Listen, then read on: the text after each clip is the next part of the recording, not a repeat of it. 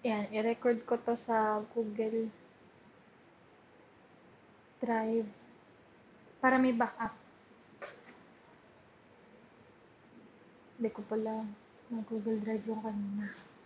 Anyway, so receivable financing, uh, example niyan kapag wala kang maibayad pero may pautang ka sa kaibigan mo, pwede mong ipambayad yung pautang mo sa kaibigan mo kung tatanggapin nung binabayaran mo ng utang.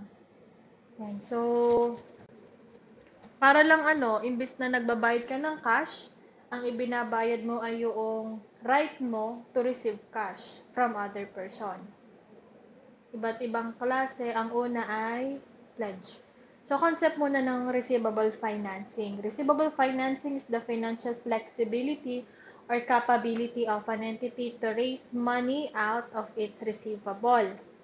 During a general business decline, halimbawa pandemic, uh, mababa yung market, an entity may find itself in tight cash position because sales decrease, walang pumapasok na cash, and customers are not paying their accounts on time. So, wala ka nang cash sales plus wala ka pang collections eh meron kang monthly bills, ganyan, or mga expenses na hindi mo may iwasan, like water, electricity, at saka salary ng empleyado mo.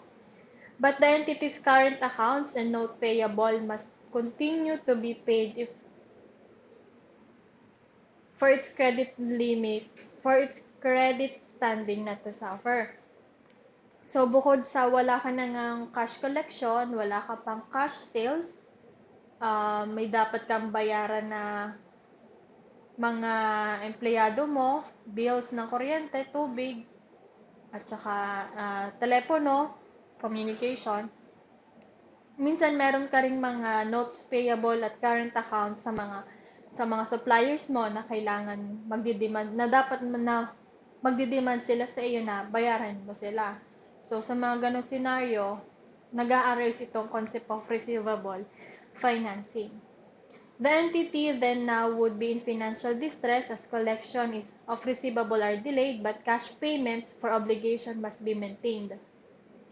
So dadami yung iyong cash outflows kesa sa cash inflows mo.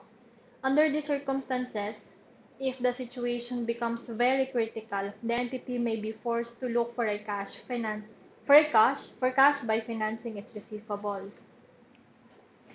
From forms of receivable financing.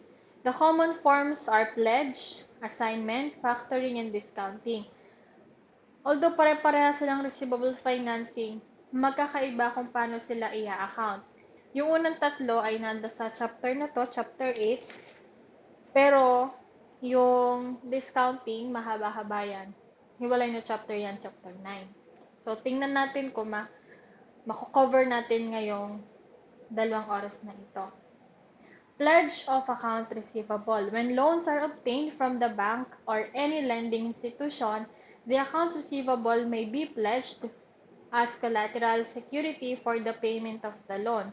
Kung uutang ka sa bangko tapos wala kang titulo ng bahay at lupa, wala kang sasakyan, pero may pautang ka na business mo, may pautang yung business mo sa isang customer, pwedeng yun ang ipakolateral mo sa bangko. Normally, the borrowing entity, borrow, tayo yon ah, uh, di pala, yung borrower. Borrower and sila pala yun, tayo pala ay nasa asset side. The borrowing entity makes the collections of the pledged accounts but may be required to turn over the collections to the bank in satisfaction for the loan. So, kung pumayag si bangko na yung pautang mo sa isa mong customer, yung ibabayad, yung iko-collateral mo, tapos hindi ka nakabayad, eh di yun na yung magiging kabayaran mo, yung accounts receivable. Pwede na ikaw yung maniningil sa customer mo, pero yung proceeds nun, yung exact proceeds nun, i- i-surrender mo sa bangko. Or, si bangko directly siyang pupunta sa customer mo para maningil nung pautang mo sa customer mo. So either way kung ano maging agreement pwede naman. In sa huli, bangko yung makaka-receive ng proceeds from the pledged account receivable. No complex problem are involved in this form of financing except for accounting for the loan. The loan is recorded by debiting cash and discount on note payable if loan is discounted and crediting note payable. The subsequent payment of the loan is recorded by debiting note payable and crediting cash. With respect to the pledged accounts, no entry would be necessary. It is sufficient that the disclosure therefore is made in a note financial statement.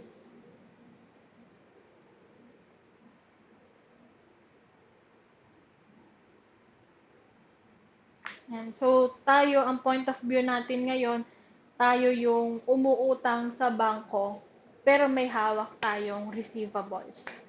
So, sa illustration, uh, tayo ay umu humihiram, humiram tayo ng 1 million mula sa bangko at nag-issue tayo ng promissory note na para doon sa 1 million. Yung loan na yon um, uh, is 1 year, so siya ay the loan is 1 year. So, lump sum. Lump sum. And discounted at 12%. The entity pledged accounts receivable at 2 million pesos to secure the loan. November 1, journal entry. So, tayo, naka-receive tayo ng cash mula sa bank na 880 tapos discount on notes payable na 120. Ang discounted ay galing sa 12%, hindi ito yung interest rate, pero ito yung discounted amount na yan. So, 1 million times 12%, 120. So, na-receive lang natin na cash talaga is 880. Pero ang babayaran natin is 1 million pesos. If the loan is discounted, in the banking parlance, this means that the interest for the term of the loan is deducted in advance. So, inclusive sa 1 million pesos na ito, yung interest na 120 sa point of view ng POV ng bangko. Okay? Ang net proceeds natin na natanggap ay yan. Uh-huh. Face value of the loan, interest deducted in advance.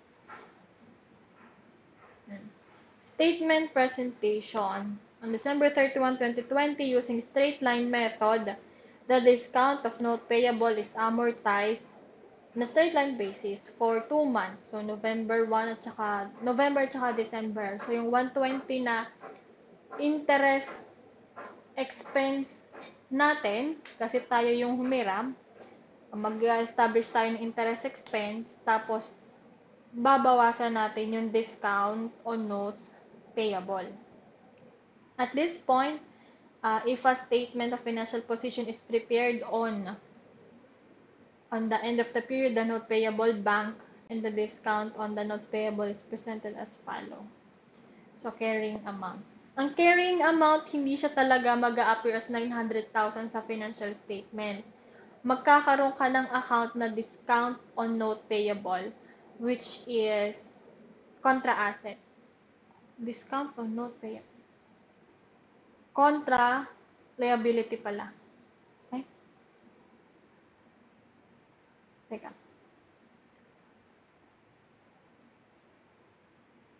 Parang o nga, kontra. Kasi in-establish mo siya as debit. Ang kabaliktaran niya is premium on notes payable. So, tingnan natin kung may lalabas na premium dyan. Yan, hindi lalabas talaga na 900,000. Hindi mag appear sa financial statement na 900,000 siya. Uh, bagkus. Subalit, tatapwat.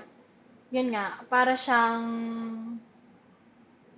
allowance for doubtful accounts, tsaka ano pa gayon? Accumulated depreciation, di ba? Kung straight line method siya, um, pwede or pwedeng hindi na mag-appear siya sa financial statement na hiwala yung acquisition cost at hiwala yung accumulated depreciation. kapag siya ay, halimbawa, equipment net, so nabawas na yung accumulated depreciation. Pwede din naman dito na note payable net. So, ibig sabihin, nabawas na doon yung discount or na-add na doon yung premium.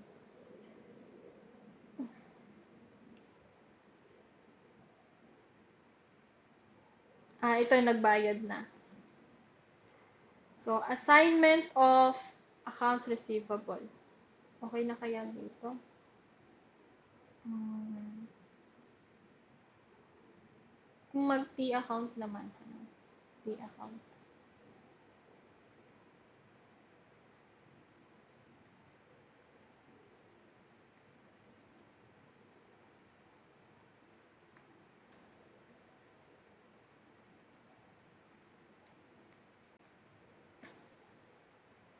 So, ang affecting, simulan natin dito. Note payable. So, merong 1, 1 million.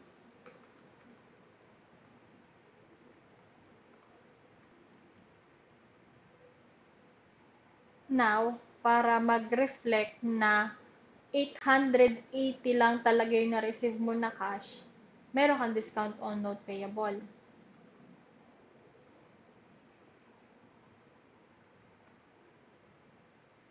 So, discount on note payable, note payable bank na 120. Yan. So, ito ay noong pumasok, nung nag, ano, nag, November 1. So, 11-1. Diyan pa lang, alam mo na, ano ba yan? Yan. Diyan pa lang alam mo na na merong 1 million entry at merong entry din na 120. So, ang parang tinatawag na balancing figure ay cash.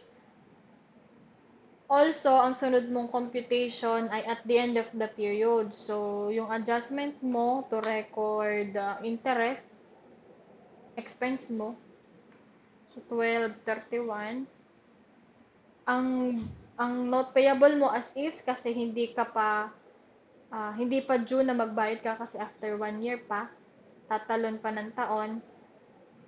Pero mag establish ka na ng interest expense kasi um, naglapse na yung 2 months na dapat magbabayad ka na. Kaso hindi pa talaga magbabayad kasi nga under may 1 year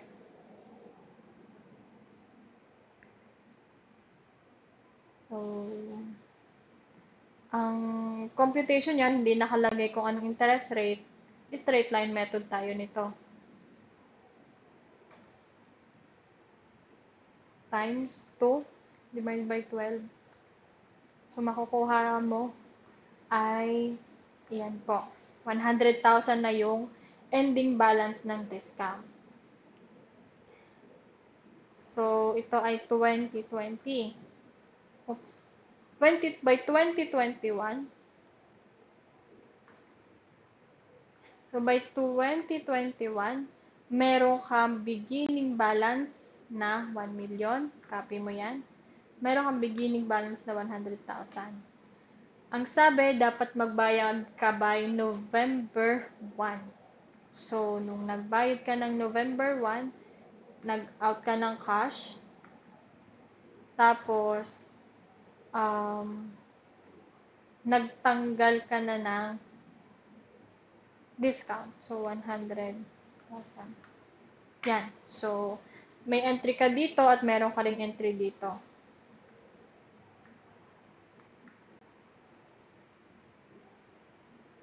Ah, so, nag-a yung carrying amount dito. So, ang carrying amount as of end of is 1 million minus 100,000. And at the beginning, 900,000 pa rin. And then, noong at the end of 2021, nagkabayaran na, close na yan. Uh, a note to financial statement may appear as follows. So, the note payable with the face value of 2 million pesos. Kapag nakabayad ka, yung account receivable na i-pledge mo, sa'yo pa din. Wala kang entry na gagawin sa AR kasi uh, sa substance over form, yung substance naman talaga, hindi mo ibinibigay pa yung account receivable na 2 million pesos. Kumbaga, parang yun ay backup plan mo in case na hindi mo mabayaran yung 2 million pesos. Ay, kaya madali lang yung sa part ng pledge. Ngayon, assignment. Assignment of account receivable means that a borrower called the assignor transfer rights in some accounts receivable to a lender called the assignee in consideration for a loan. Actually, assignment is more formal type of pledging of accounts receivable. Assignment is secured borrowing evidence by a financing agreement and a promissory note both of with the assigners assigner signs. However, pledging is general because all accounts receivable serve as collateral security for the loan. On the other hand, assignment is specific because specific account receivable serve as collateral security for the loan. Dito, titingnan nyo kung lahat ba ng account receivable ay ginawang collateral or portion or yung uh, specific or yung identified account receivable lamang yung ipinasok as collateral. Isa pa, non-notification or notification. When accounts are assigned on a non-notification basis, customers are not informed that their accounts have been assigned. As a result, the customers continue to make payment to the assignor who in turn remits the collateral to the assignee. So, kapag uh, not- non-notification, si A may utang kay B, si B may utang kay C. Si B, inassign niya yung pautang niya kay A, kay C, na na siya ay non-notification basis. So, since siya ay non-notification basis, hindi na nila, hindi na uh, hindi na A, B, C. Dahil siya ay non-notification basis, hindi na sinabi ni B at ni C na yung pautang ni B kay A ay inassign na, na ni B kay C. So, since hindi siya alam ni A, ang gagawin ni A kay B pa rin siya magbabayad. As a rule, dapat yung ibinayad ni A kay B, i-remit niya 100% kay C. Kasi kung hindi, magkakaroon ng uh, gulo. Ano? Magkakaroon ng breach of contracts. Ganyan. Yung breach of agreement. Yan. Kapag notification basis, customers are notified to make their payments directly to the assignee. Ito yung assignor, ito yung assignee, ito yung customer. Tayo itong assignor. Kung notification basis, ina-notify nating dalawa or maalin man sa ating dalawa na yung pautang ko kay A ay kay C na. So, since alam na ni A na yung pautang, yung utang niya kay B ay napunta na kay C, si A kay C na magbabayad directly. So, on the other hand, mayroon pwedeng magkaroon ng agreement na in case hindi makabayad si A, pwede pa rin habulin ni C, si B. The assignee usually lends only a certain percentage of the face value of the accounts assigned because the assigned accounts may not be fully realized by reason of such factors as sales discounts, sales returns, and sales allowances, and uncollectible accounts. May mga provisions. Uh, the percentage may be depending on the quality of the accounts.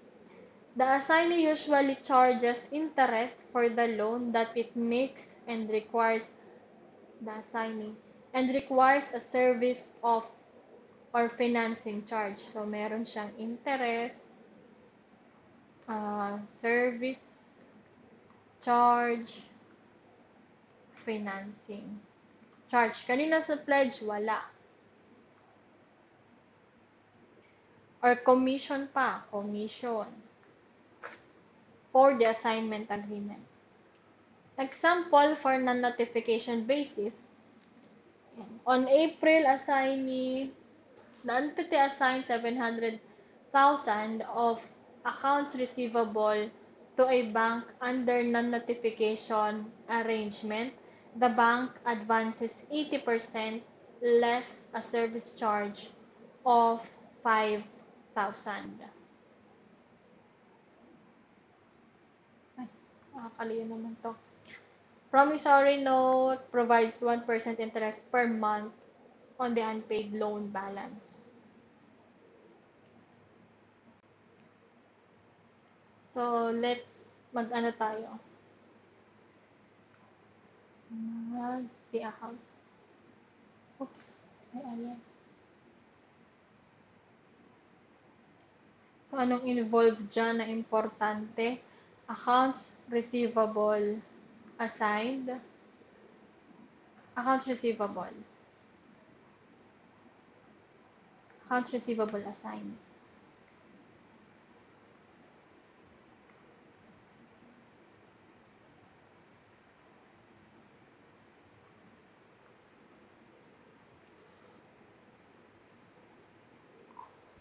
Not payable, excuse me. Not payable bank, sales return, important, diba? Interest expense. Yan. On entity, separate, 700,000. So, since meron tayong inassign na 700,000, before this uh, transaction with, an, with the bank, meron tayong existing na 700,000 na AR. Yan. Excuse me. And then, uh, after nito, yung 700,000 ay i-ating i-assign. So, tanggalin muna natin dyan. Ipapasok natin sa assigned. Okay. Uh, ang ating sunod na gagawin is alamin kung magkano yung cash na na-receive mula sa bangko. So, sabi dyan, uh, advances 80%. So, 700,000 times 80% is 560. Ile-less na natin agad yung 5,000 na service, service charge. So, merong 555 na cash tayong marireceive. Oh. Hey, wait. Ah, tapos yung service charge yung 5,000. Kaya total of 560. So, kay bangko, meron tayong 560, 1, 2, 3. Yan. Nung sumunod na transaction, issued a credit memo for sales return to a customer whose account was assigned. Pag nilagay dyan ay whose account was not assigned, wala ka nang pakialam dyan. Hindi niya maapektuhan ito. Nasa ibang AR na ledger yan. Pero since customer whose account was assigned, so ito yon.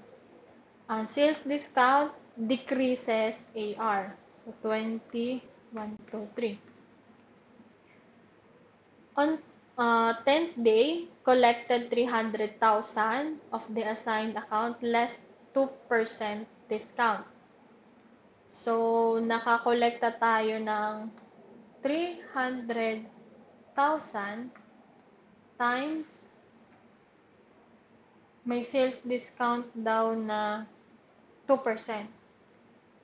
Pero in the end, 98%. Neto yan, neto. In the end din naman, yun din eh, ang sales discount mo ay 300,000 times 6%. So, yung net effect nitong transaction na ito sa AR, ano nangyari?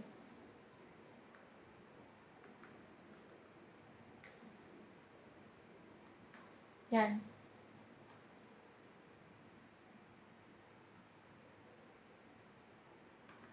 Ang net effect niya is, ay, ano ba yun?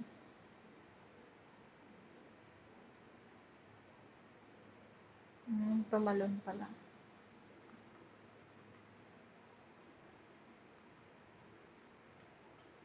So, net niya ay, ang total niya, 300,000. So, ang effect na niya is decrease ng 200,000 sa AR. Remitted the total collections to the bank plus interest for one month.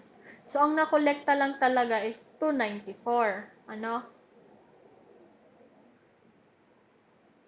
So, remitted, yung 294, sunod na transaction. And then, yung interest expense for the month,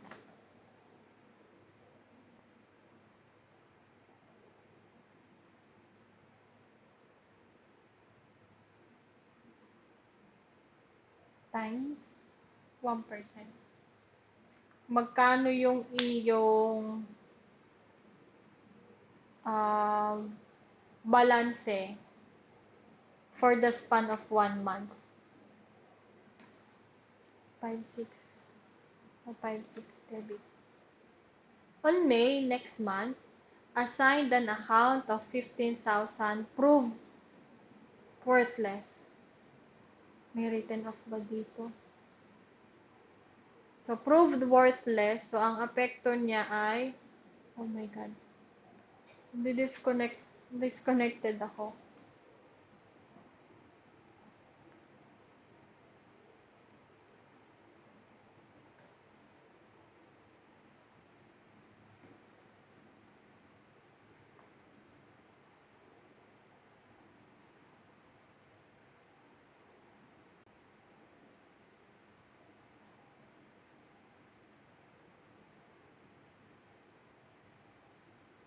Yan.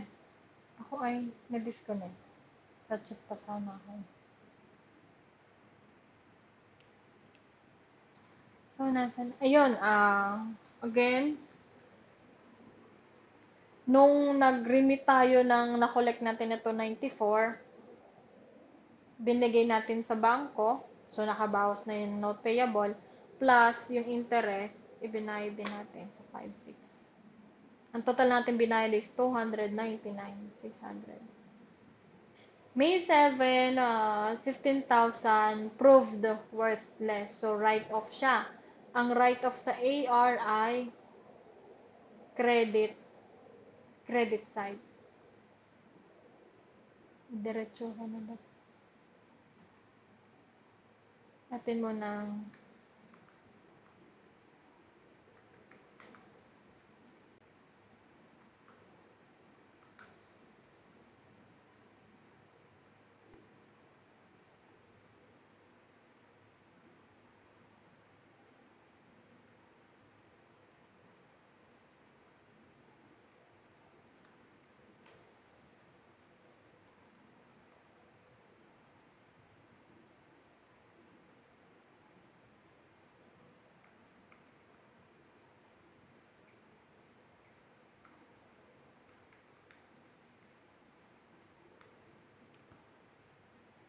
Yan. So, ito ay May, April.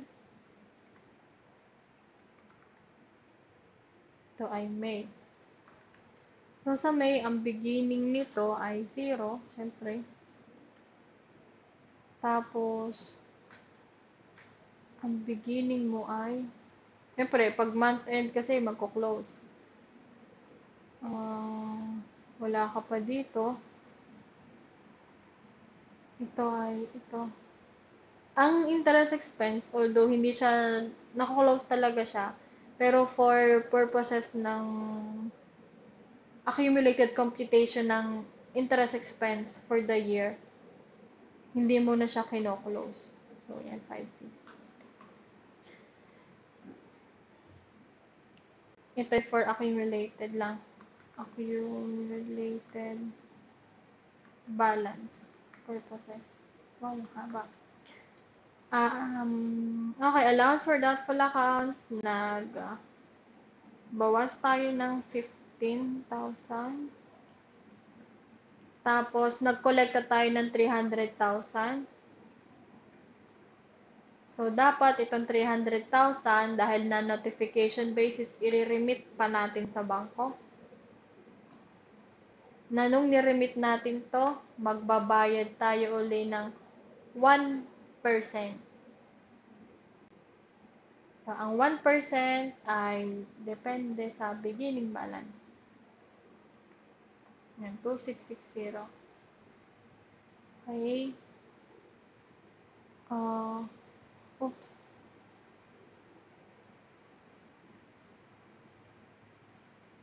Oh, di pala siya 200,000. Although 300,000 yung na-collect natin, iyang balanse na lang natin sa bangko ay 266. So, 266 lang.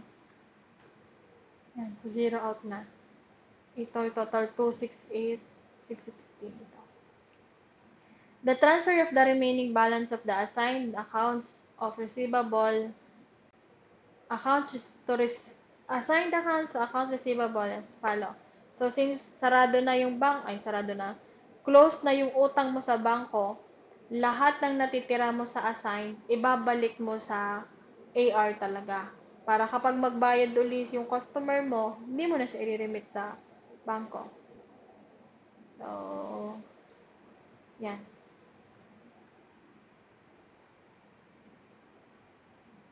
Sixty-five thousand.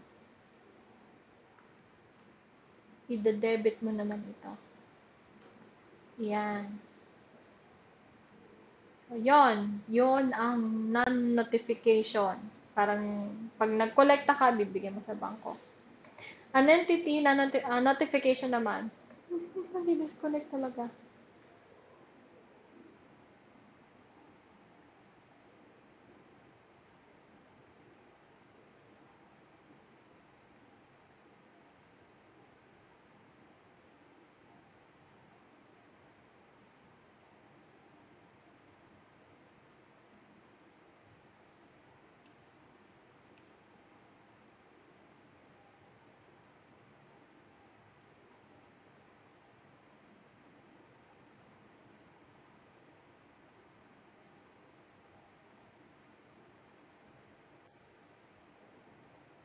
Yun. Nadi-disconnect ako. Um, okay, next illustration. The entity assigned 1 million of account receivable to a bank under notification. The bank loans 80% less 4% charge on the gross amount assigned. The entity signed a promissory note that provides for 1% interest per month on unpaid balance. So,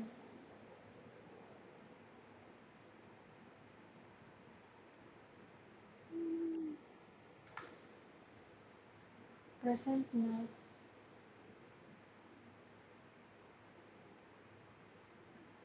Bakit ngayon ka pa? Ano ako?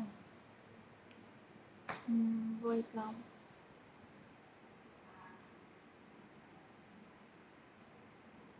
Yun. You are presenting your screen. So, may book kayo nasa page 227 na tayo. 227. Ilang pages to? 900. So, halos 1,000. One-fourth. One-fourth. Um, okay, next ay non-notification basis. So, importante uli ay itong apat. So, July 1, meron kang, bago pa kayo mag-transaction, may pautang ka na talaga na 1 million.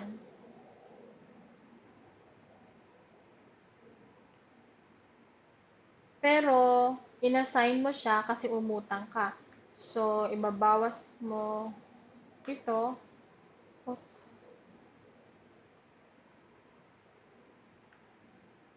Yan. 1 million pesos. And then, nung umutang ka sa bangko, ang na-receive mo ay 80% less service charge.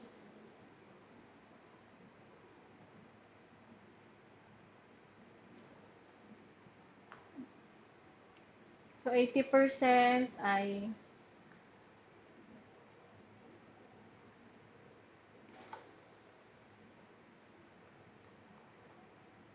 Yan.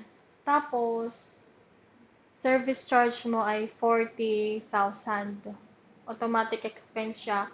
Balance in figure will be the cash.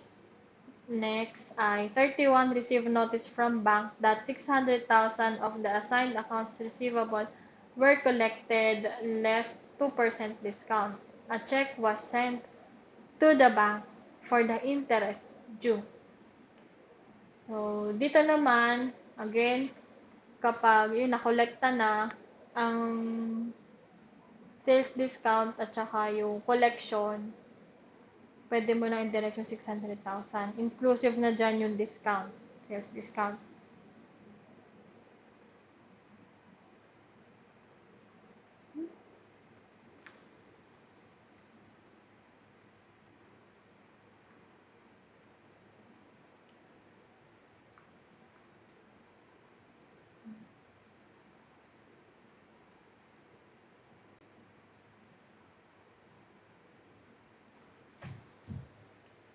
Assigned. Oh, 600. Ayan. 400,000 na lang. Tapos may sales discount ng 12%. So, yan. Uh, interest in interest expense will be 1%.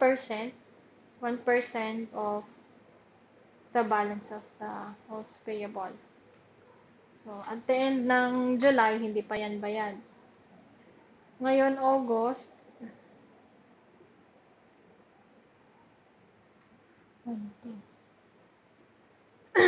Excuse me.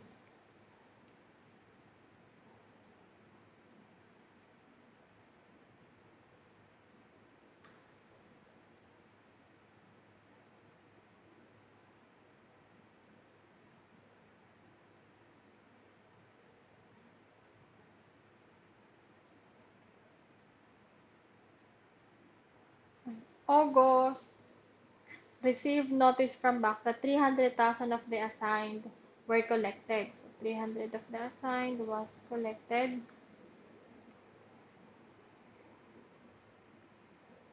Final settlement was made by the bank for the excess collections together with the uncollected assigned accounts of 100,000.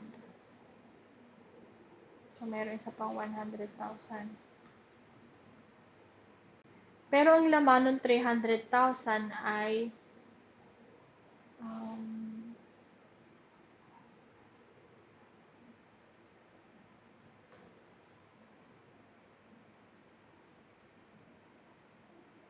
bawasan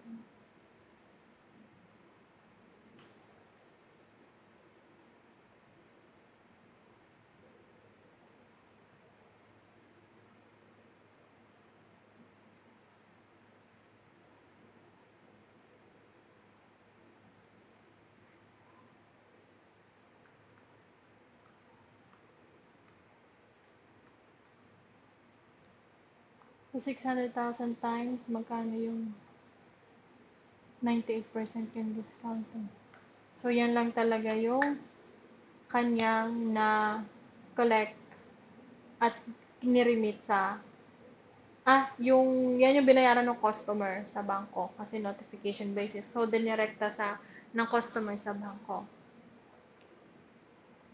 So, ayun, yun yung 212. Na-collecta ni ni bank ay 300,000. Final test settlement was made by the bank.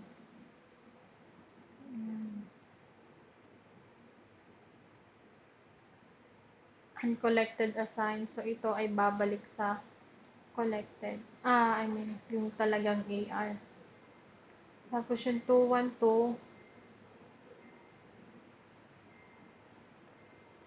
tanggal na siya kasi yung na-collect na 300,000, so will suffice yung 212 na uh, balance ng bangko.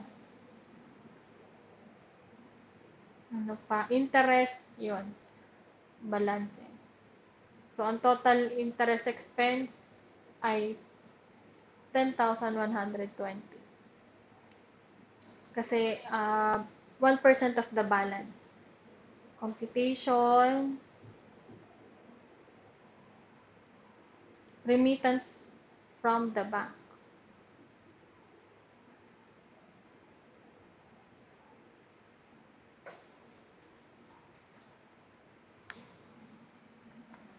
Ay, wait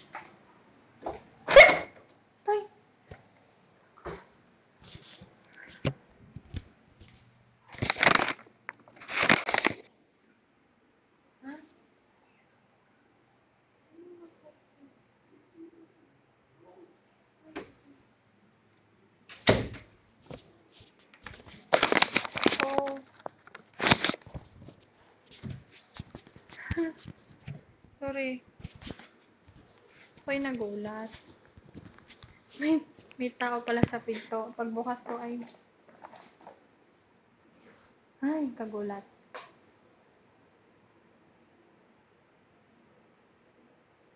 Nasaan na? 800,000. Yan, loan. So, 800,000 yung utang natin sa bangko. Nakakolekta tayo nung July ng 588. Yan ay 98% ng 600,000 nating collection. So, meron tayong remaining balance na 212. Sa August collections, merong 300,000 na ibinigay o ibinayad si si customer sa bangko. Pero ang balanse na lang naman natin kay bangko ay 212. So yung yung binayad ni customer ay labis, 'di ba? Labis labis siya ng 88,000. Pero sa August na 'yon, meron tayong interest expense sa bangko na 2,120. So, yung remittance from the bank na 85,880, yan ay babalik sa atin in form of cash. Dahil yan, ito ay 85,880. Pag present,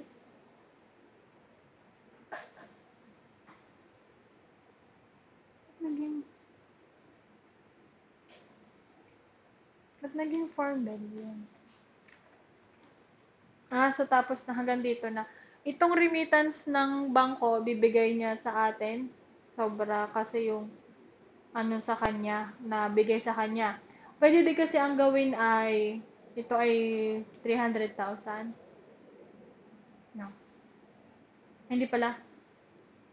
Meron bang discount? Ah, wala.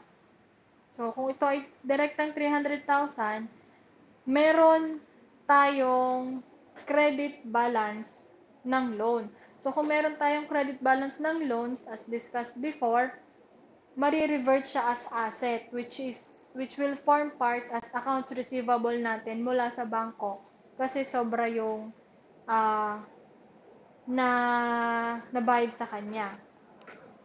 And dahil sarado na yung kabayaran, yung 100,000 na natitira sa assigned will revert back to account receivable na normal. Balik tayo sa dati. Statement presentation. So, yan. Um, ito ay inilalagay sa notes to financial statement. Pero, ang papasok lang na words at value sa statement of financial position will be trade and other receivables na ang katabi niyang amount is 4,900,000. So, ito yung, ang, ang, ang unassigned is ito. Ano? Ang assigned ay ito. Ang allowance for doubtful accounts, syempre yung contra asset nila, Note payable bank related to assignment. Pag ito, dito siya nakukuha. Siguro yung 88,000 dito. Accounts receivable assigned, unassigned. So, 4 million plus 1 million. And then, allowance for doubtful accounts, ito, yan, 4.9. Uh, related to assignment, disregarded siya sa computation ng trade and other receivable. Equity in assigned accounts. Moreover, the entity shall disclose its equity in the assigned accounts determined as follows.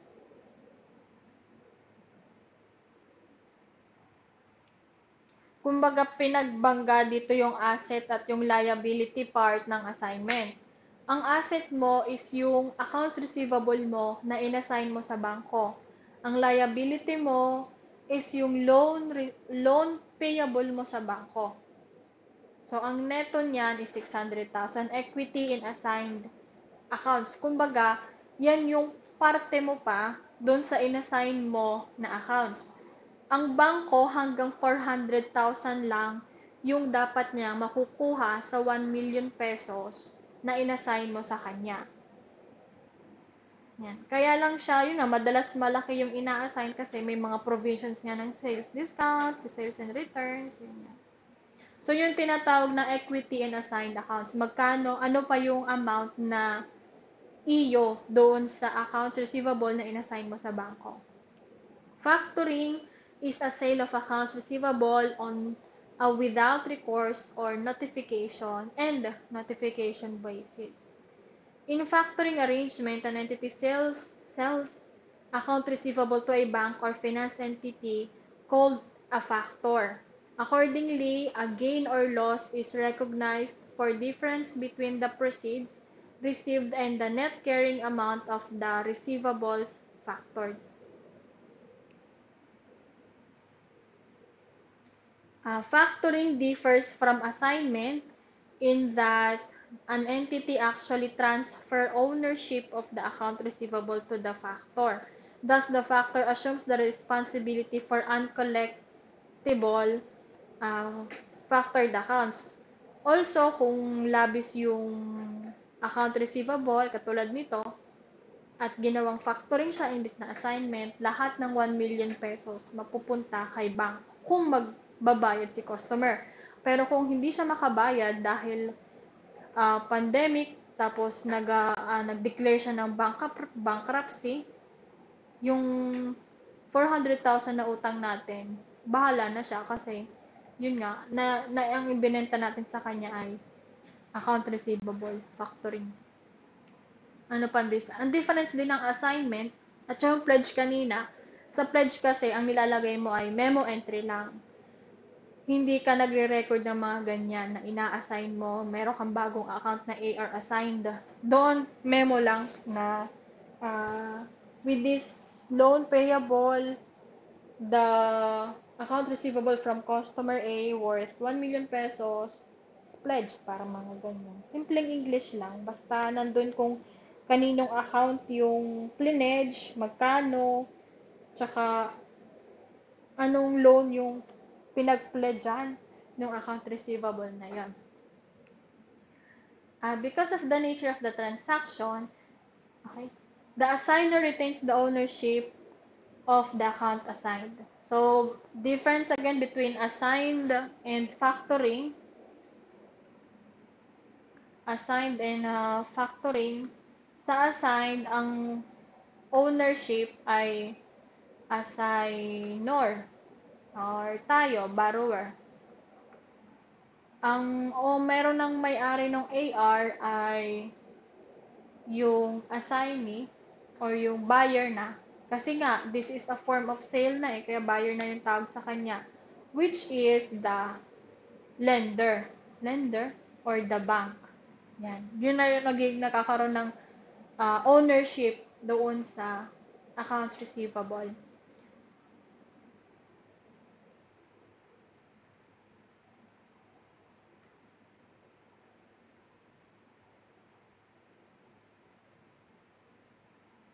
Kung pledge, isama natin si pledge. Uh, borrower. Borrower pa ang tawag. Kasi utang lang siya eh. Umutang lang siya. Or, hindi mo pangit ng pledger. Borrower na lang. So, borrower din. Entry. Memo entry. journal entries. So, same as journal entries din. Basta yung hindi ko na nalagay yung retains ownership. Kasi kung sino yung may ownership, siya yung ano, may responsibility. Mm, because of the nature of the transaction, the customer whose accounts are factored are notified and required to pay directly to the factor. Ito, hindi siya pwede maging na-notification kasi since ibinenta na or isinurrender na ni, ni seller tayo, kay bangko, lahat-lahat ng account receivable ng certain na uh, customer, kailangan i-notify natin yung customer na ikaw o yung, yung pagbabayad mo, diretso ka na sa bangko kasi binenta ko na yung AR mo sa akin kay bangko. So, okay naman siya. The factor has then the responsibility of keeping the receivable records and collecting the accounts. So, kung mag, uh, uh, magtago yung customer mo, eh nabenta mo na kay bangko, so bahala na yung bangko maghanap sa customer mo. Hindi na niya pwede ka pang gambalain na hindi ito makabayad, ikaw magbayad. Eh wala eh, ang naging kontrata niyo is bentahan ng AR. Eh ang ownership ay kanya na. So the risk of uncollectibility will be with the lender or the bank. Pwede siyang casual factoring or factoring as a continuing agreement. Ilang pages pa to? Teka. 229.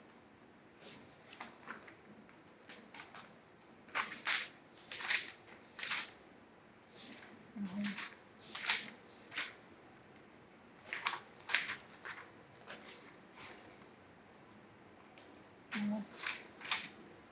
Ilangan? Ni one hour pa.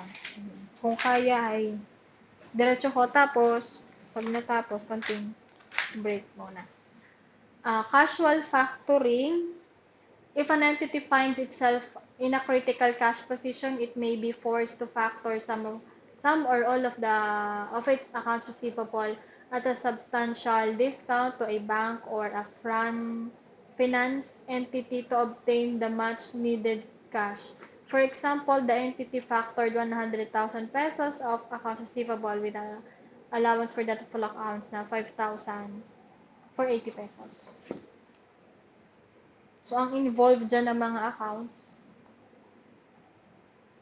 cool, ay AR, ano,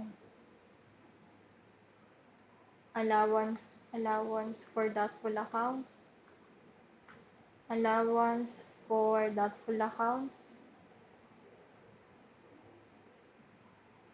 cash ang sige nga, loss on loss or gain on factoring. Okay? Gain or loss pala. Basta gain or loss siya ha. Tinamad na Ang AR ko na aking sinurrender is 100,000. So, let's assume na before this transaction, meron tayong 100,000 na debit balance. And nung binenta na natin siya, So, binenta natin, may natanggap tayo ng cash. Magkano? 80,000. Tapos, um, tatanggalin na natin sa account natin yung binenta natin. Ang binenta natin is AR, worth 100,000. So, nung tinanggal natin siya, dyan, dapat yung na-establish natin before na 5,000 sa allowance for doubtful accounts, tatanggalin din natin. And then, whatever the the balancing figure, so, ang net, net realizable value kasi is 95,000. 95, pero 80 lang yung ating na-receive. So, parang lugi tayo by 15,000. So, yan. Factoring as a continuing agreement. Factoring may involve a continuing agreement where a finance entity purchases all the accounts receivable of a certain entity. In this setup, before a merchandise is shipped to a customer, the selling entity requests the factor's credit approval. If it is approved, the account is sold immediately to the factor after shipment of the goods. The factor then assumes the credit function as well as the collection function. Uh, for compensation, typically the factor charges 80 charges a commission or factoring fee of 520 service credit approval, billing, collecting. The factor may help may withhold a predetermined amount of protection against customer returns and allowances. Uh, this is known as factors holdback. The factors holdback is actually a receivable from factor and classified as current asset.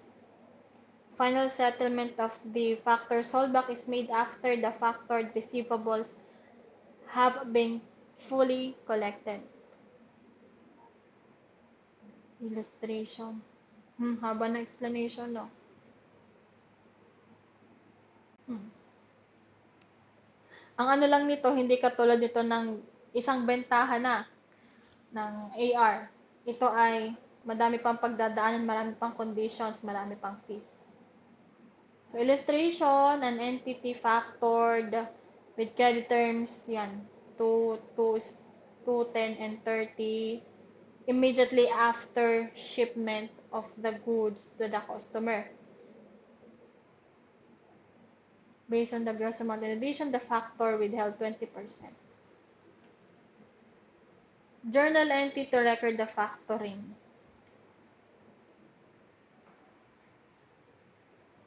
Yan. So, aha, ano meron? So, bago pa mag-start yung transaction, meron tayong uh, debit balance ng 500,000. Yan. Okay?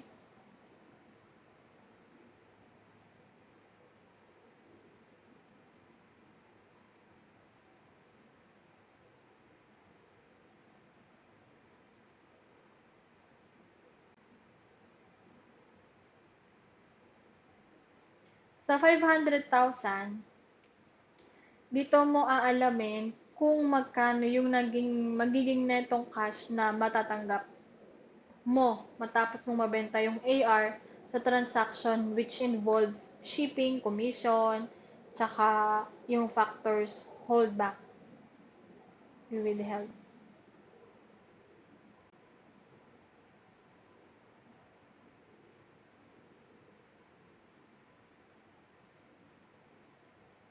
Yan. So, sa AR, um, meron kang sales discount na 10,000. So, it decreases AR. Mm. Mm-hmm.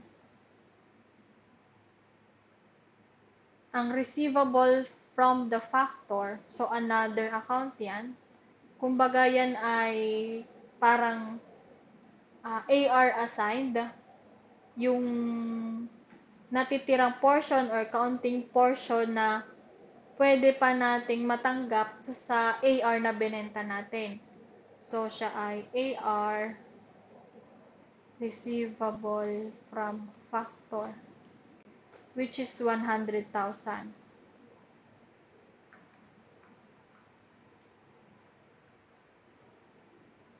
Lipat lang. Tapos yung commission, expensed out na siya. Para siyang loss on factoring. Uh, commission, expense. Ah, disregard the double E. 25. Yan. Tapos, ang neto niyan is yung cash na matatanggap natin. Yes. Ayun, raise hand. Napindot lang o may tanong? Okay, okay. Sige, thank you. So, ano pa ba dito? May 100 na pumasok sa AR, sa receivable na bago. May commission expense. Merong sales discount.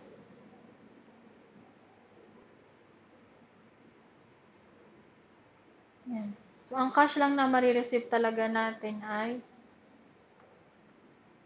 500 Magdi-disconnect at ako. 500 minus ito, minus ito, minus ito. So, 365. Hindi ko na ito binida kasi ito yung redundant dito. Pinakita ko lang na ito ay nilipat sa other asset account. So, yan yung computation. What else? If the customer is subsequently allowed a credit of 50,000 for the damaged merchandise, the journal entry is um, 50,000 receivable from factor. So, binigyan natin siya ng sales return and allowances.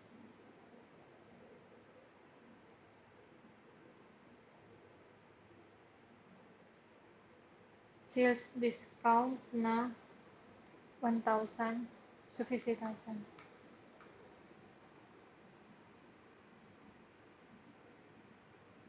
Ito ay, tawag dito, bakit siya ay?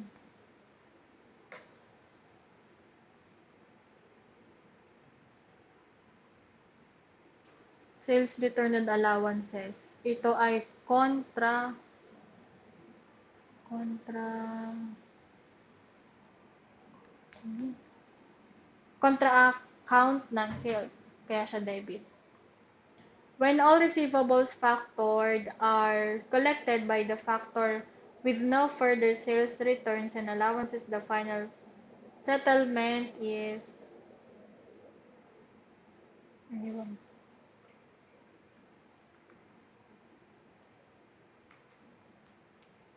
Yan, 50,000.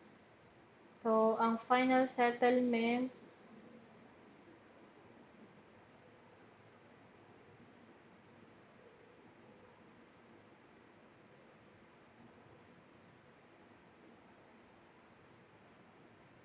Sales discount.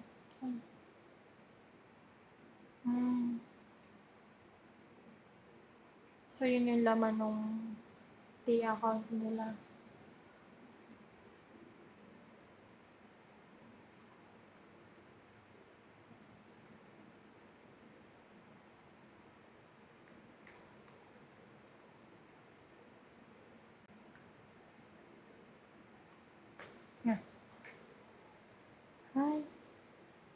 So, dito, ang ano lang ay yung mga entries kung paano na-compute na ang, basta ang end, ending, ang balancing figure ay usually cash. Dahil given lahat ng ito, 500, makukompute mo naman itong tatlo, so yung balancing figure mo ay cash. Another illustration, an entity factored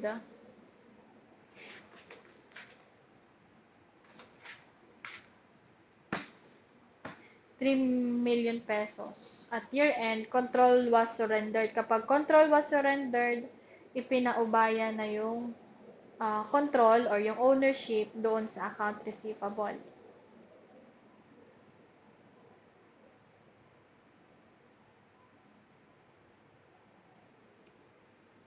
So, before siya mag-transact, uh, meron na siyang established na 3 million.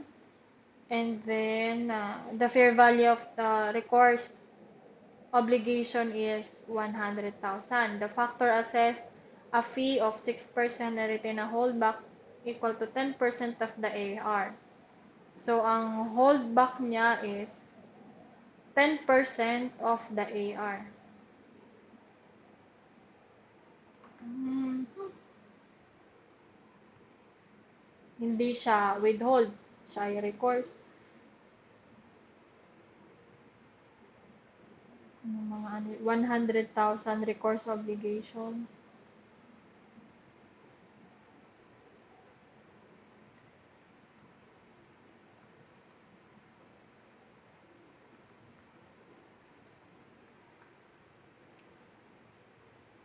One hundred thousand, ano pang given?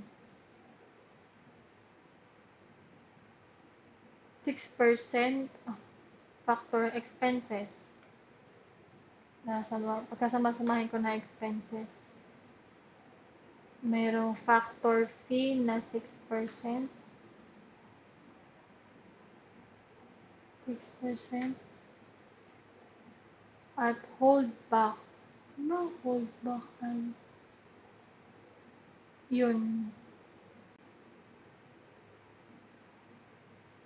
Yun, receivable from factor, due from factor, same din naman yun.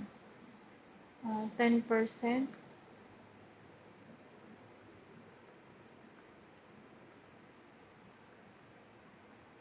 Twelve percent interest computed in a weighted average time hmm, of 50 days. So, interest expense 300 times 12% times 50 divided by 360. Bo? Ito, 50,000. Bakit?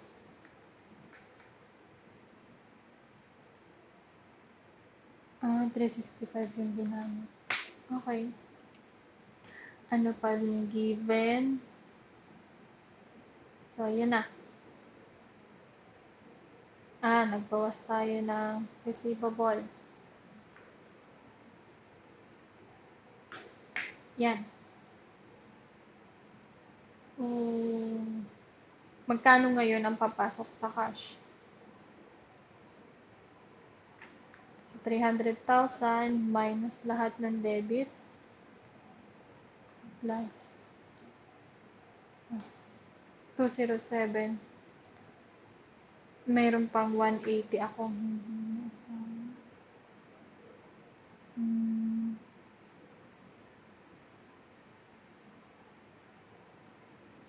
Minus pa, minus ito.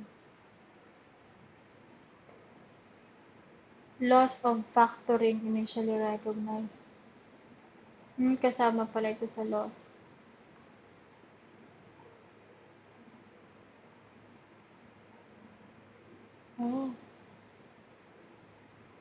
Ah, ang recourse obligation is also part ng expense.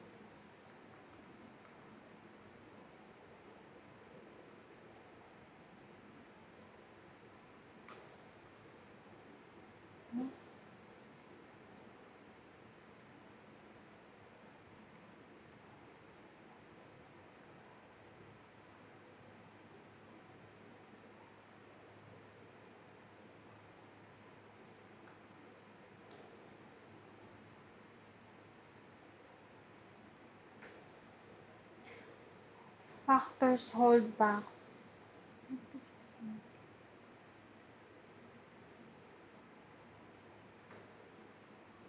Yun, okay na. So, pag gumamit naman ng T account, makakalito nga pala. Yun nga, ang AR tinanggal ko, ang uh, receivable from factor or due from factor is the amount withhold or hold back, which is 10%, 300,000 times 3, 3 million, ay, 3 million times 10%. Recourse obligation ng entry niya is expense, mag, mag, maggagawa ka na expense, magke-credit ka ng obligation. So, dito pa lang, ang kanyang value is neto na. Zero. Kaya nung kinompute ko ang cash, F2, hindi kasali ang obligation kasi offset siya. So, 2,470, 685, dito siya. Ayan. Uh, due from factor, entry nito, ito, entry nitong 100, tapos,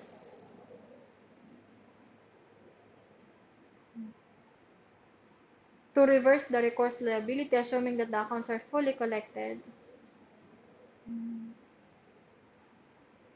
two entries can be compounded. Ito yon okay. Credit card, ito ay credit card ay, yun, yung simpleng bagay lang, yung simpleng bagay. Yung card, para maalin sa debit or credit card. Ang debit card kasi, meron kang, meron laman yung bangko mo, doon nakaltas, automatically, nagde-debit yung iyong mga purchases. Lumalabas na wala kang utang sa bangko. Ipinambabayad mo yung pera mo na nasa bangko. Ang credit card is kapag nag-swipe ka, nagbayad ka, nagkakaroon ka ng loan agreement, another loan agreement, with the bank. Kaya lang minimal siya. Ang iniisip lang na iba, may utang ka pa din. Bawa, sa SM ka bumili, tapos ang pinambayad mo ay credit card. Kapag natapos yung transaction mo sa SM, ang merong utang ngayon is yung SM sa ah may utang si bangko kay SM na tayo may utang kay bangko. So, yan na yung si A, si B, at si C. So, A, ah ah, ako, tapos SM, bumili ako sa SM, nagbangko. So, hindi pala baliktad.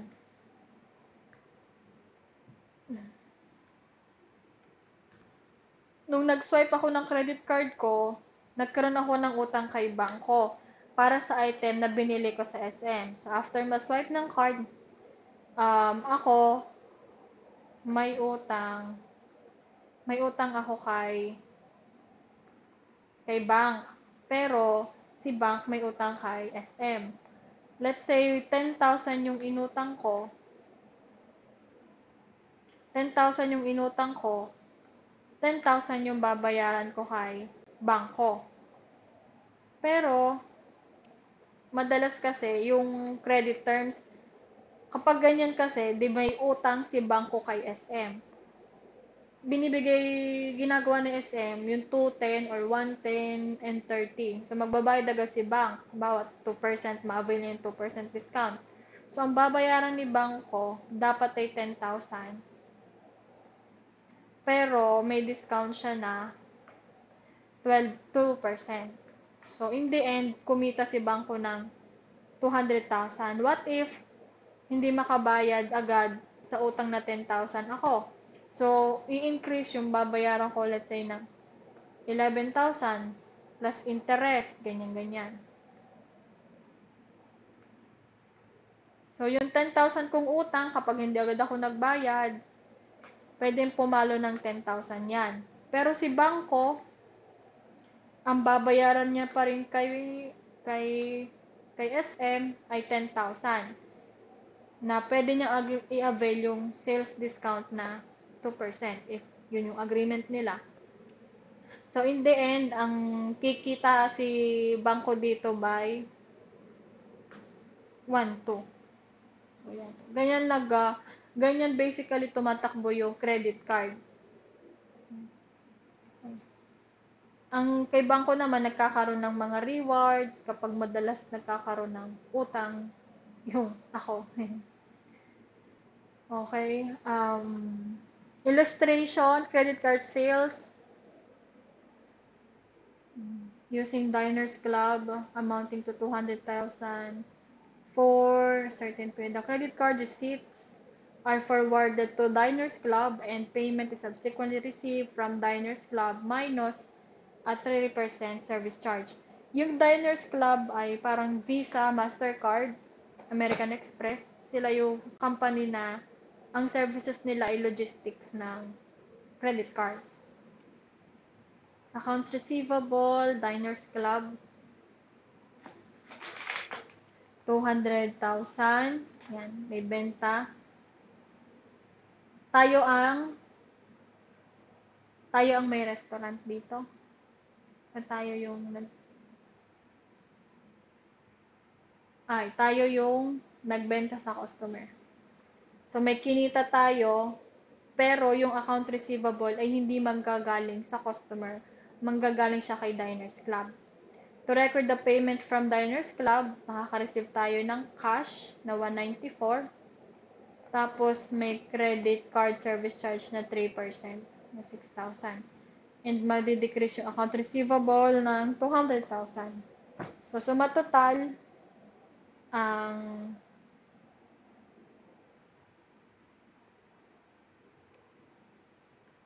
ang nagbayad talaga is yung uh, nag-issue ng credit card. Hindi ta, hindi yung customer na bumili sa atin.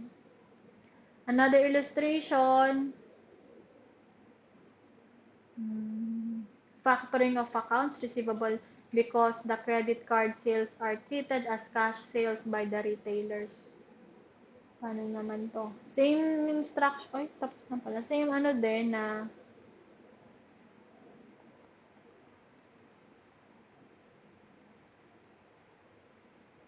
Ah.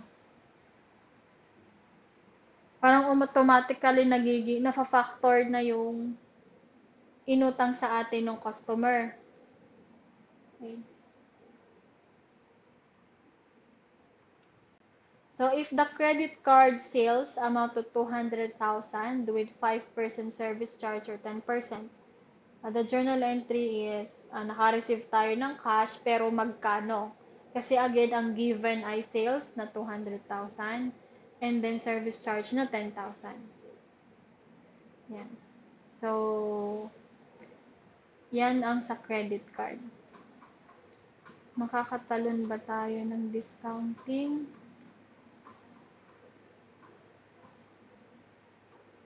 Tingnan nyo yung mga problems, mga theories na yan.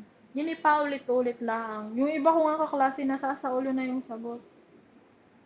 Okay, concept of discounting. On pages, tingnan natin kung magibitin.